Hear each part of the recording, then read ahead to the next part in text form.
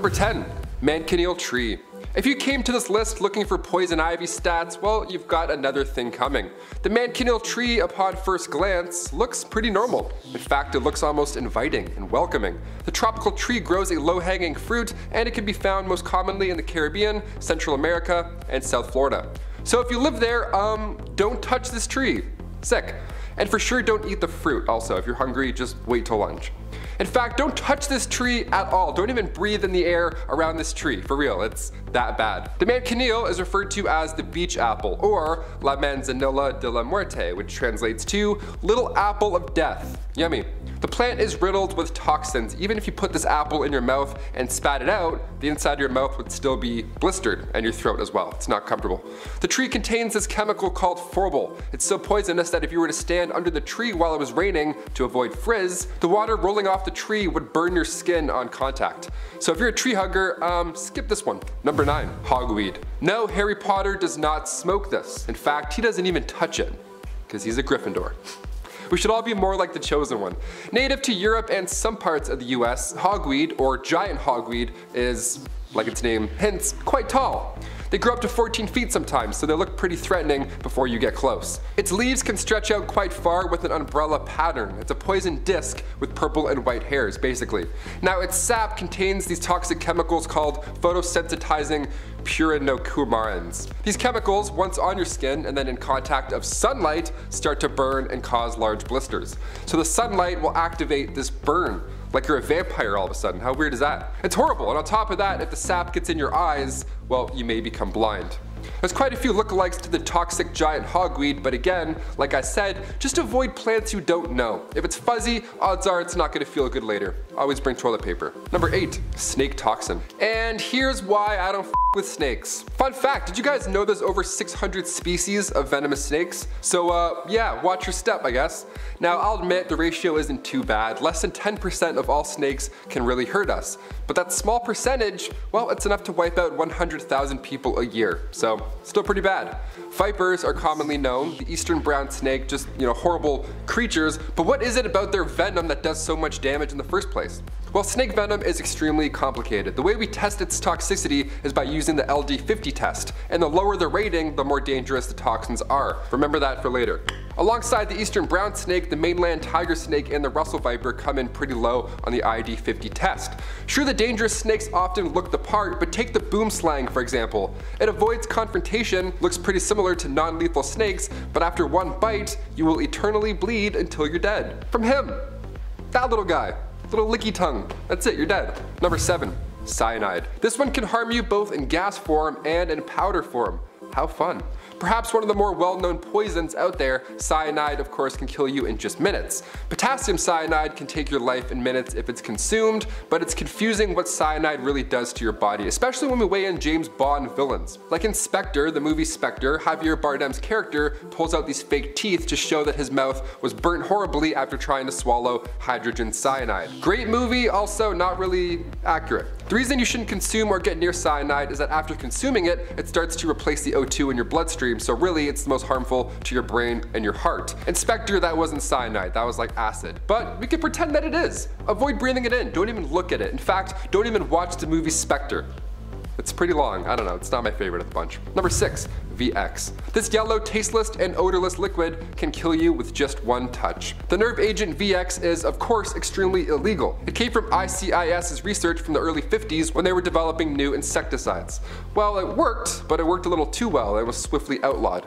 But the bell cannot be unrung. This was the same nerve gas that was used to take out Kim Jong-nam back in 2017. He was attacked at an airport, two people rubbed a cloth on his face covered in VX and he died on the way to the hospital. He had a horrible seizure because of this. Initially officials thought that cyanide was used, but in reality it was only 10 milligrams of VX, this oily liquid. It looks evil, like it looks like bad goo. Number 5.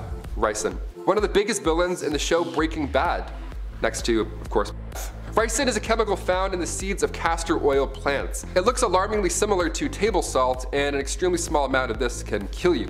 They also come from castor beans, but unlike toxic plants, you aren't going to run into any ricin in the wild. There's also more steps that need to be done before you accidentally poison yourself in mere minutes. Once consumed, ricin enters your cells, and then it prevents them from making the proteins that they need, subsequently dying. So your cells die fast. So depending on if you inhale it, ingest it, or inject it, the results may vary. And by results, I mean it depends how long it'll take before you meet your, you know. Georgy Markov, for example, he got taken out by a ricin attack.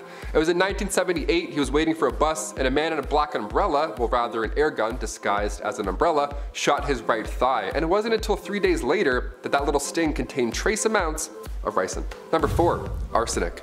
The deadly poison that supposedly took out George III of England and Napoleon Bonaparte.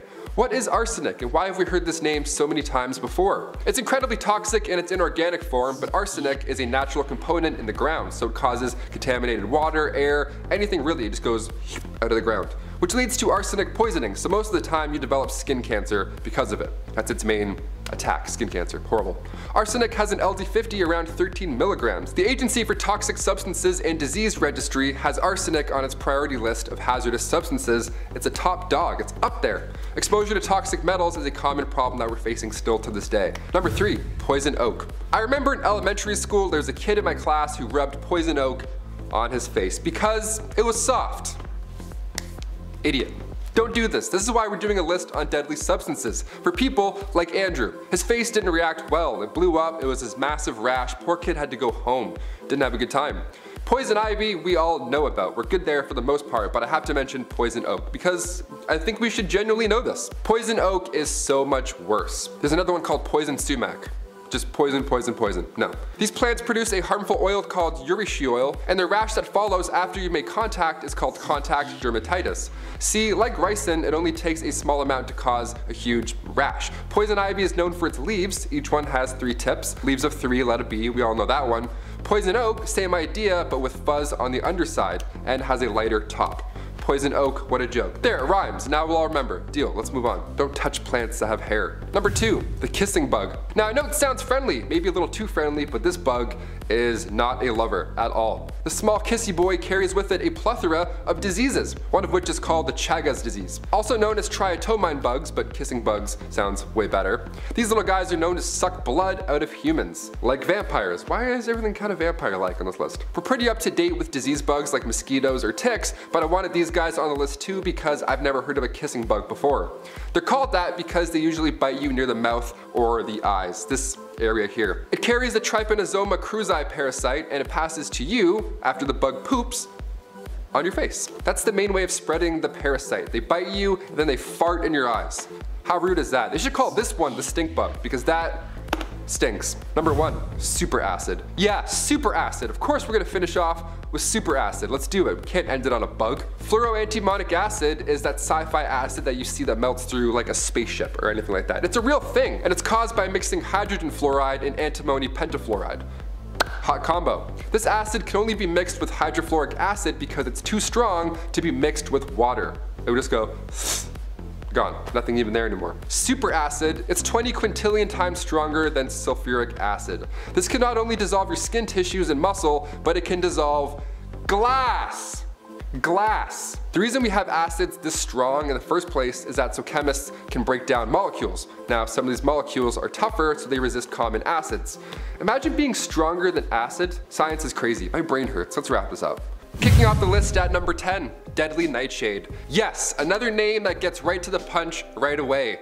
Deadly Nightshade, aka Atropa belladonna, it's another poisonous plant that Macbeth's soldier used to poison their enemies. The thing that makes deadly nightshade so commonly known is the sweetness of the berries. Have you ever been outside and you see a berry and like 30% of you just for some reason wants to eat that berry? That's normal, it's called being a human being, that's a good thing to have. But also, curiosity kills, so don't eat those berries. Or any berry, really. Deadly nightshade can be found in Europe, Asia, and Africa, and it grows purple flowers in groups of three, along with those inviting purple berries. Just two to four of these berries can take a human life. The flower as well, do not ingest this. You'll get poisoned right away, you'll be delirious, it's all bad. Even if a pet chews on a leaf for a hot minute, thing's gonna be a goner within the hour. Animals like horses, sheep, rabbits, they eat deadly nightshade salads. They're crazy. Perks of having cool stomachs, I guess. Number 9.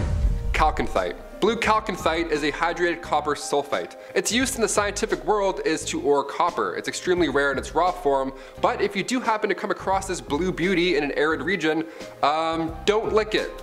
Weird that I have to say that, but check this out. This apparently is an issue. One Reddit user purchased a sample of blue chalcanthite and they shared their experience, encouraging others to keep it stored in a glass case. Licking this rock will poison you and even touching it can turn your skin blue for a while. So unless you're auditioning for the Blue Man group, stick to the mood gems for now.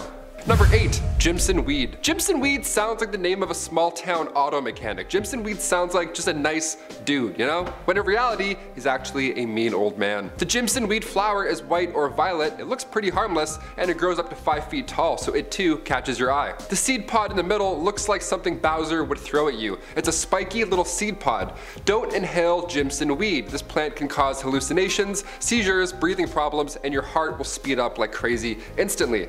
It's named after Jamestown weed because back in 1676, British soldiers got too close and hallucinated for 11 days straight. It was reported that they grinned like monkeys and kissed each other. Jimson weed is a gateway drug to kissing your homies. Fun fact. This grows in southern Ontario. This is literally behind our building.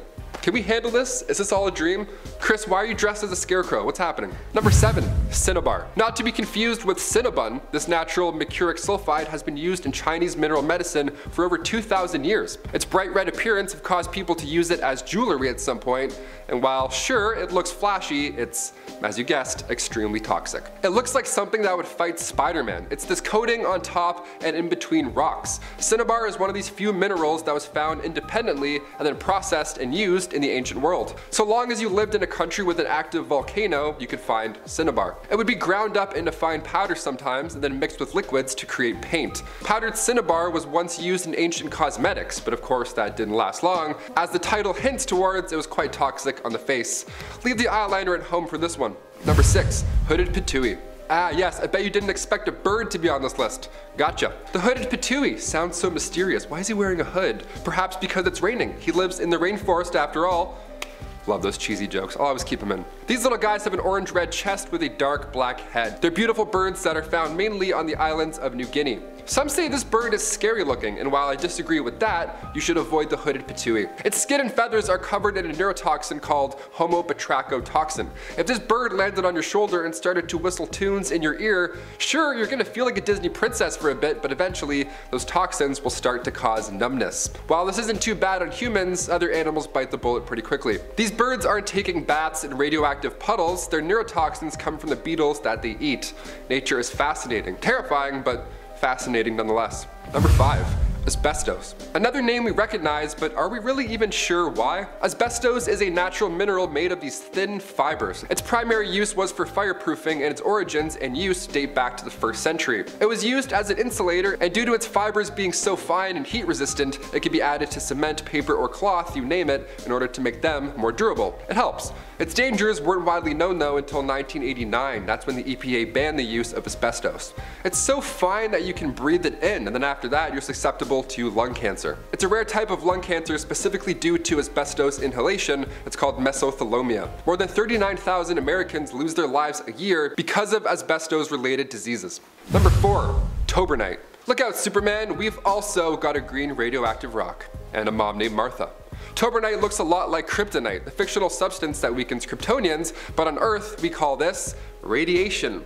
Yeah, it still does some damage. We're not super, but we'll cough a bunch. The mineral contains uranium and naturally releases radon, so if you're admiring the space rock, you better do so from the other side of an airtight transparent container. Breathing in this rock means you're breathing in hydrated green copper, phosphate, and all things leading again to lung cancer. If you're into gems, maybe leave the time stone at home.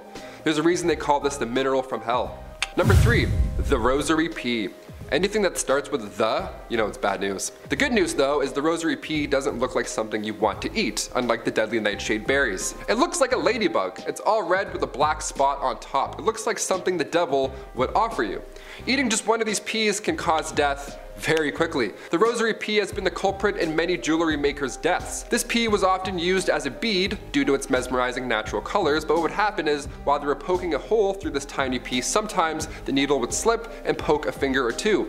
Normally this is just another day for somebody into arts and crafts, but the poison would enter your bloodstream and well, that's a wrap. Like I said on part one of this list, if you're not sure about anything berry-wise, just don't eat it. Just walk away, don't even touch it. Don't sniff random bushes, don't lick any weird rocks, don't eat any strange berries. Please? Thank you. Next. Number two, comb stars. Ocean life is by far the scariest thing out there. We have no idea what's in our ocean still to this day, like 98%. We're like, well, we just don't know. We discover some crazy fish every year, some deep sea fish with bioluminescence that are for sure aliens, while others are natural predators. Like the comb star, for example, a starfish that contains tetrodotoxin, this deadly neurotoxin that can cause you paralysis.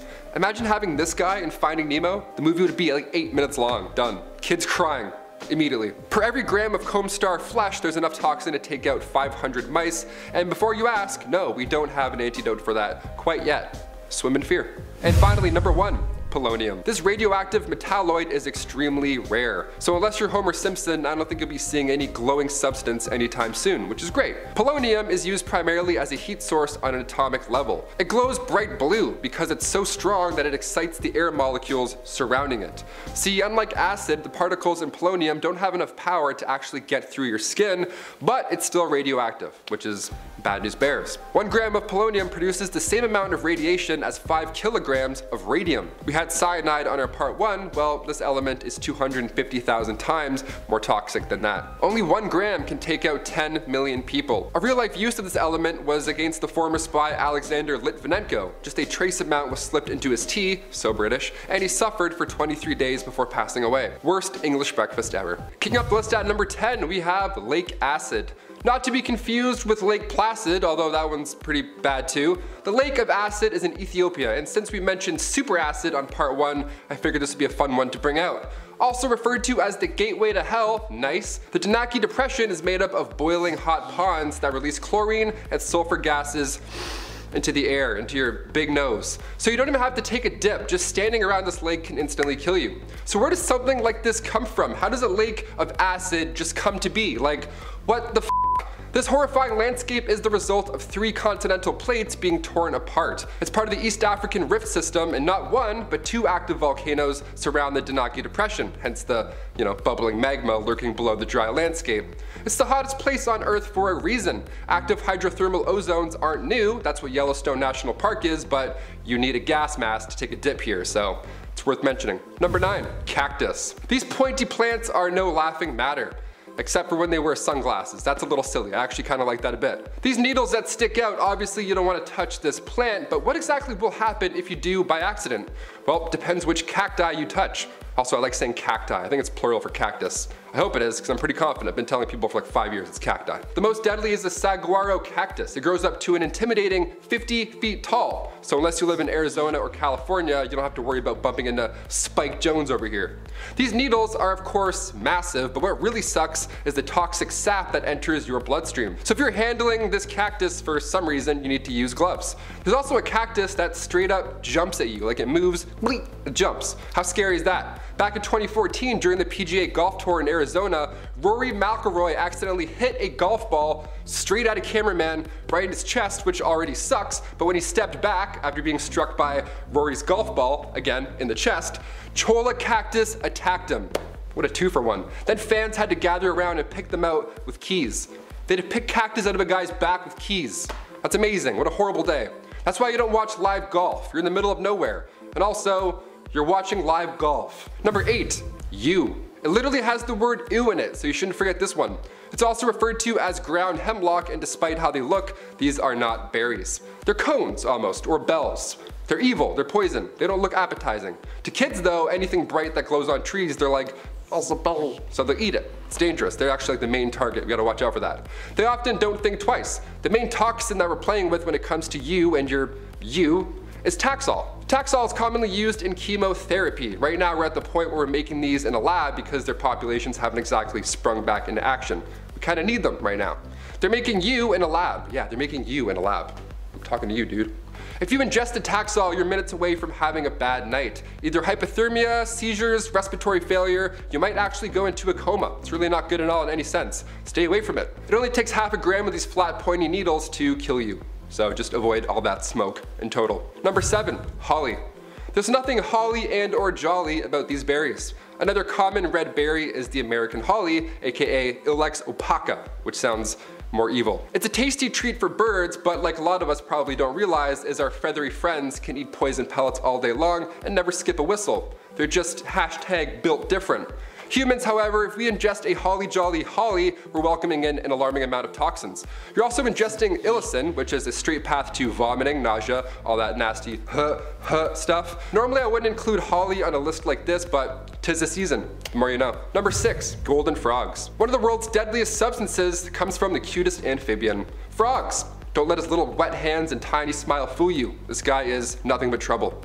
Or rather, the alkaloid on their skin is. So if you're catching frogs on the weekend in humid forests of Colombia, as we all do, leave the golden frogs alone. A Super Mario star will not pop out when you catch it. Instead, the batrachotoxin will interfere with your sodium ion levels in your nerves, resulting in your heart failing. We mentioned that LD50 scale before, that's the lethal dose table and it tells you which toxins are worse than others, and how many milligrams of the substance kills 50% of the test subjects. Batrachotoxin on the LD50 is only 2 micrograms, so 2 grains of salt really, that's the size that we're talking about, that can kill you. The interesting part is, it's not the frogs that produce these toxins, but rather lab-born frogs. These ones aren't poisonous, meaning that it comes from their natural diet somewhere. American ornithologist Jack Dumbacher was in contact with a hooded Pitohui, that was the bird that I mentioned on part 2, and after he touched his mouth, it instantly started to go numb. So something in both these animals' diets is making them super villains.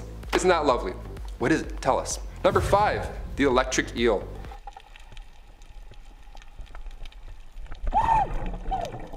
Awesome, that's the worst thing I've ever seen. Neat. The moray eel, first of all, don't do what he just did. Don't go up to a random eel and start rubbing it like it's a genie lamp. It's not a smart move. That was the moray eel. That one can bite your fingers off and you should never touch eels in the first place because a lot of them are electric. As its name suggests, these type of eels can mess you up even if you were to get the first hit. Specifically the newly discovered 2.5 meter Electrophorus volti. Great name, gets to the punch. Appropriately named after Alessandro Volta, the guy who invented the battery. Cool. It can release a shock up to 860 volts, which is more than seven times the voltage of a wall plug. A swimming wall plug that gets hungry and has teeth. See ya. Number four, blister beetles. Nice, that's a great name, blister beetles. I want to avoid this beetle right away. The blister beetle is chock full of cantharidin. It's also seen in the Spanish fly. See, back in the day, like when you know we didn't know much, medical experts would use cantharidin to introduce blisters. That was a common remedy, I guess. These little bugs have this poison inside of them. Blister beetles are tiny and they often sport a metallic green or blue wing cover. If a bird tries to eat one of these, stick around because it will not stay down. That beetle will come right back up and then continue on his little little beetle business, whatever they do. Probably something to do with tax forms, I would assume. On the outside, cantharidin causes a dermatitis reaction, and if you have the misfortune of swallowing one of these bugs, like that sad bird, it could very well be your last meal. Back in the 1800s, people would ugh, lick them. Uh, don't lick bugs, if I had to tell you that. Now you know. Hit that thumbs up for not licking bugs. Spread the word. Number three, the cow killer. If you see a hairy red and black bug of any kind, don't pet it, okay? like just don't, this is a horrible list. Like, don't do any of these things. The eastern velvet ant, AKA the cow killer, isn't actually an ant. Spoiler alert despite what I you know just said. It's actually a wasp. The female is wingless, so it looks like an ant. But don't let that get to your head. Her sting is extremely painful. She doesn't get along well with her own type. That's how mean she is. These cow killers are usually found riding solo rather than nesting with, you know, hundreds of other friends. Here's the most evil thing about this wasp slash ant slash hairy creature from hell. It's a parasite to bumblebees. We're trying to save bees, meanwhile these females are laying eggs in beehives in order for the wasp to be born and then immediately have an all you can eat breakfast. That is sad, but also it's nature. Nature sucks sometimes. If you have the misfortune of stepping on a cow killer, two things will happen. A pheromone is released on impact. This calls the colony to attack. Hot start, great. There's venom coming from their saliva, so already it sucks, but then the actual venom enters your bloodstream after the initial bite. Double the fun, triple the excitement. Where's the hospital? Number two, tetrodotoxin and batrachotoxin. I tried that so many times before, but we cut it. Grab your goggles and speedos, because we're heading underwater for this two-in-one. With an LD50 that's less than that of batrachotoxin, maitotoxin is part of the reason that I don't even mess with shellfish. It's made up of dinoflagellate, marine plankton that can cause heart failure if consumed. This cardiotoxin cranks up the flow of calcium ions running through the cardiac muscle membrane, and obviously that doesn't feel good. Maitotoxin is often found in tropical and subtropical areas of the Pacific, but again, unless you're poking around shellfish and just eating random fish that you find, you should be pretty good to avoid this problem. A fish you should never touch, however, is the pufferfish.